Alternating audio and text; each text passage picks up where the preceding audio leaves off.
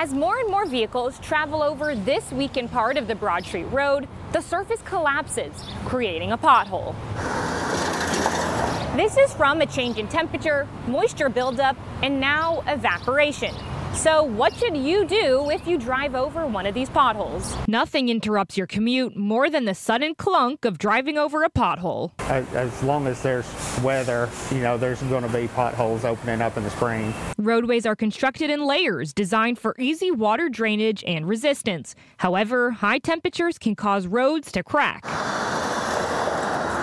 as well as leave damage like this to customers' cars. We just had one a few days ago. Expecting more with rain arriving later this week. We'll, we'll see an uptick, especially with all the wet weather. But Blackwell mechanic owner Richmond Blackwell says he consistently sees particular cars come in with pothole damage. We see it a lot more with sedans and sportier cars that have low profile tires because there's just a small amount of rubber between you and the roads. Look at these numbers. The Tennessee Department of Transportation says they are spending more on road repair materials this year than last and is now ramping up its pavement repair efforts after January's impactful winter storm with an additional $15 million. But now, as school lets out and summer vacation begins, it's probably going to pick up because more people are out traveling and the, the work at home people that normally are not commuting are now going to see family and getting ready for the holidays coming up. One mechanic tells me repairs can range anywhere from a couple hundred to a few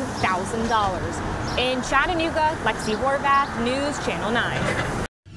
Thanks for watching News Channel 9. And for more great local coverage, don't forget to hit the subscribe button and turn on notifications. News Channel 9, depend on us.